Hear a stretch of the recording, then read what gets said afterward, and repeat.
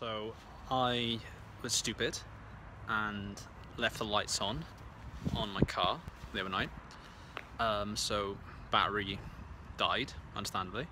So yesterday I called um, the breakdown service to come jumpstart my car because I've never done it before because I'm stupid.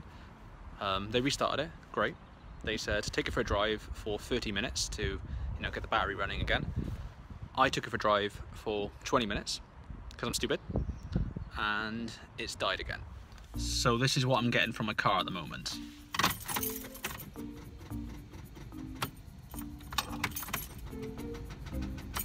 So it's a good noise.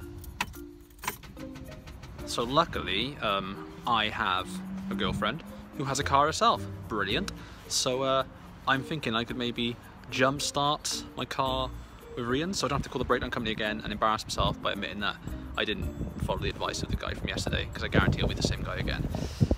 I was lucky enough today to get jump cables or jump leads, what they're called, from uh, from a friend. And now I'm gonna try and connect it. But the first problem I have is I'm in Rhi's car and I don't know how to bump the hood. Freeze. So, you're gonna hear the phrase bump the hood a lot in this vlog. Reason being is my brain was broken this day and I thought it really was called bump the hood. What I really meant to say was open the bonnet of the car. Silly me, but yeah, expect to hear that a lot. Carry on. Where the hell do you bump the hood in a Ford Fiesta Zetec? There is no obvious signs anywhere.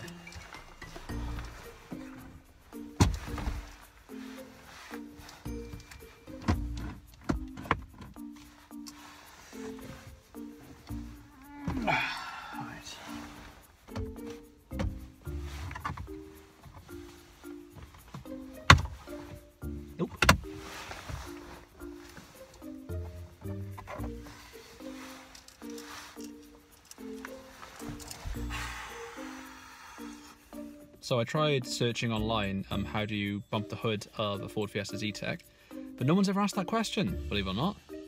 Where the hell do you bump the hood? I could not call the breakdown team out because I can't bump the hood of my girlfriend's car. Mmm.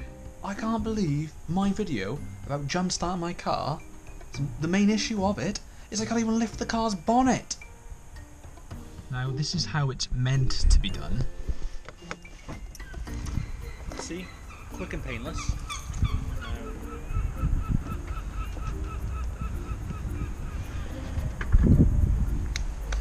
Mechanic like, isn't it? I managed to take a picture. Don't know how clear that is. I'm going to send it to Hens, Tom and Matt and ask him how I bumped the hood of this car. Hens has replied. Um, he said, pop, not bump, you. Yeah. My father-in-law just called me. Phone disconnected because it's stupid but I'm going to ring him back. Hello, Dad. Hiya, Phil, you alright? I'm on my way, right? Are you going to come over here? No worries. Uh, do you have any idea where the, the bonnet might be then, um, whilst, uh, whilst I'm waiting? Uh, it should be. It, uh, either down by the pedals on the driver's side, yeah. Right down on the right-hand side, or on the opposite side, passenger side, in the same place, bottom left-hand corner. Uh, can't see anything. I tell you, I'm useless at this though. I don't can't see any. You sit there. I'll, I'll be what ten minutes now. Ah, uh, cheers, I do appreciate that. Thank you very much. So, following my father-in-law's advice, I did reach down here and I can feel something. I thought I'd film it before I actually pull it just to check and uh, see now.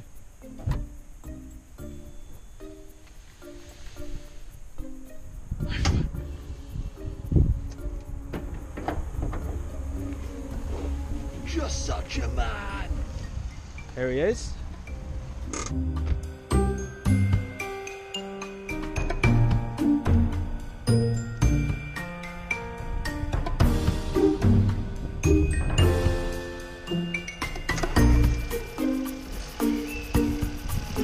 So this is powering my car up now, apparently.